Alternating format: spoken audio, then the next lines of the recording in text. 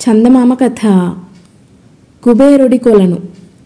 పూర్వం దేవదత్తుడు కాశీ రాజ్యాన్ని పరిపాలిస్తుండే కాలమందు బోధిసత్వుడు ఆయనకు కుమారుడుగా పుట్టాడు. ఈ పుత్రునికి మహాశాసనుడు అని పేరు పెట్టి అల్లారు ముద్దుగా పెంచుకుంటున్నారు. మరికొద్ది కాలానికే రాజుకు మరి ఒక కొడుకు పుట్టాడు. ఈ శిశువుకు సోమదత్తుడని పేరు పెట్టి అపురూపంగా చూసుకుంటున్నారు.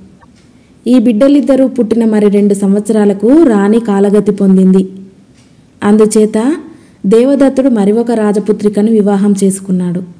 మక్కువ కొద్దీ కోరి పెళ్ళాడిన ఈ రెండవ భార్యకు కూడా ఒక కుమారుడు కలిగాడు. చిన్నరానికి పుత్రోదయమైన వార్త విని రాజు ఊబిపోయాడు. సంతోషం పట్టలేక భార్యతో పుత్రునికి సంబంధించిన వరం ఏదైనా సరే కోరుకోమన్నాడు. అందుకు ఆమె ఇప్పుడు ఏమీ అవసరం లేదు.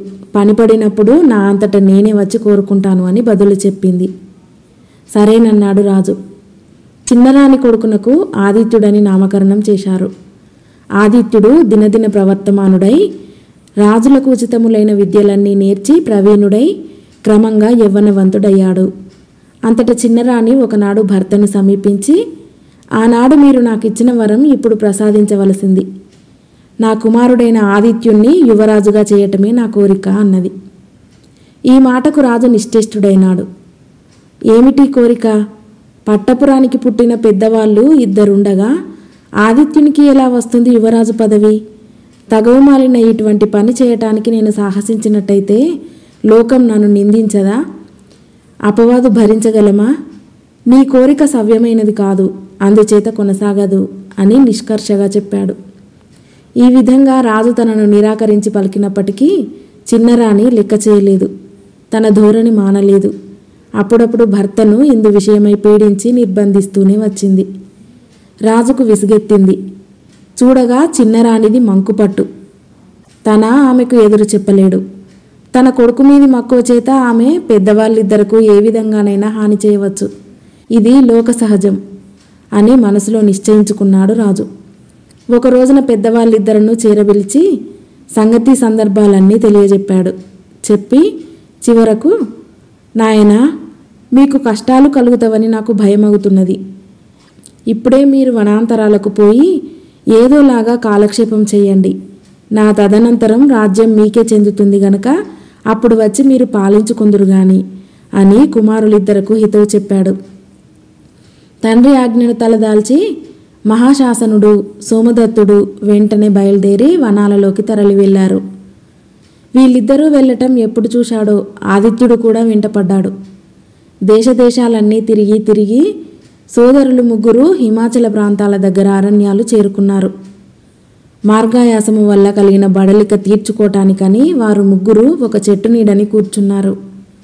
తర్వాత కొంచెం సేపటికి మహాశాసనుడు కడసారి వాడైన ఆదిత్యునితో తమ్ముడు అదిగో ఆ కొండ దిగువని చెట్టు కింద ఒక కొలను కనిపిస్తున్నది. పోయి నీవు దప్పి తీర్చుకొని తామరాకులు దొప్పలుగా కట్టి వాటిలో మాకు కూడా కాసిని నీళ్ళు తెచ్చిపెట్టు అని చెప్పి పంపాడు.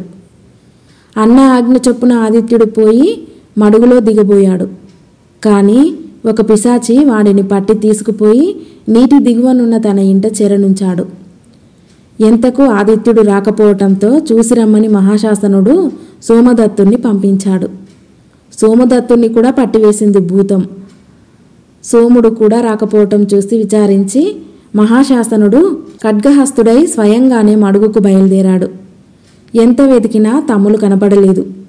వాళ్ళకేదో అపాయం మూడి ఉంటుందని తలచి మహాశాసనుడు అలా గట్టుపైనే నించుని ఉన్నాడు. తక్కిన ఇద్దరిలాగా ఇతడంత అనాలోచితంగా మడుగులోకి దిగడని భూతానికి తెలుసు. ఇది పని కాదని ఆ భూతం ఒక అడవి బోయని వేషంతో మహాశాసనుని ఎదుట నిలబడి ఏమయ్యా స్వామి అలసిపోయినట్టున్నావే పాపం. ఈ కొలను నీళ్ళు చాలా మధురంగా ఉంటాయి. త్రాగి దప్పి తీర్చుకో అని హితవు చెప్పాడు. ఈ మాట వినగానే మహాశాసనుడు అబ్బి వాలకం చూడగా నా తమ్ములిద్దరును నీవే పట్టుకున్నట్టులాగా తోస్తున్నది అన్నాడు. అవును నేనే పట్టుకున్నాను అన్నాడు బోయవాడు ధైర్యంగా. ఎందుకని? అని అడిగాడు మహాశాసనుడు. ఈ మడుగునందు చొచ్చే ప్రాణులలో జ్ఞాన సంపన్నులు తప్ప తక్కిన అందరూ నా ఆధీనమే. ఇది కుబేర రాజుగారి ఆజ్ఞ అని చెప్పాడు బోయవాడు. అయితే నిజంగా నీకు జ్ఞాన సంపాదన ఎందు ఆసక్తి ఉన్నదా? అటువంటి కోరికే ఉన్నట్టయితే నేను ఉపదేశిస్తాను అన్నాడు మహాశాసనుడు. ఓ సిద్ధంగా ఉన్నాను ఉపదేశించు అన్నాడు బోయవాడు. అందుకు మహాశాసనుడు నీవైతే సిద్ధంగా ఉన్నావు కానీ మార్గాయాసం చేత నాకు చాలా బడలికగా ఉంది. ఉపదేశం చేయటానికి తగిన శక్తి లేకున్నది అన్నాడు. వెంటనే ఆ పిశాచి మహాశాసనుణ్ణి తన ఇంటికి తీసుకుపోయి శ్రమ తొలిగేటట్టు చక్కగా స్నానపానాదులు సదుపాయాలు అమర్చి అతిథిని ఉచితాసనమందు కూర్చుండబెట్టి తను అతని పాదాల వద్ద కూర్చున్నాడు. అబ్బాయి నీవు కోరినట్టుగా జ్ఞానబోధ చేస్తాను. శ్రద్ధతో వినుమరి అన్నాడు మహాశాసనుడు. అప్పుడు బోయేవాడు సొంత స్వరూపం పొంది మహాత్మా నీవు సుజ్ఞానివి. నీ మాటలతో నేను తృప్తుడనయ్యాను. ఫలితంగా నీ తమ్ములలో ఒకరిని నీకు తిరిగి ఇయ్యదలిచాను. ఇద్దరిలోనూ నీకు ఎవరు కావాలో కోరుకో అన్నాడు. అయితే ఆదిత్యుడిని ఇయ్యమని కోరుకున్నాడు మహాశాసనుడు ఎంతమాత్రం తడుముకోకుండా.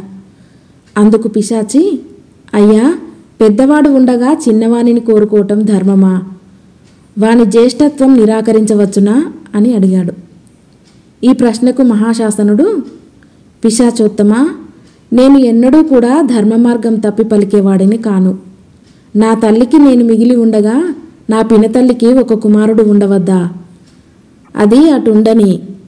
ఈ నా చిట్టి తమ్ముని కోసమే వాని తల్లి రాజ్యం కోరింది.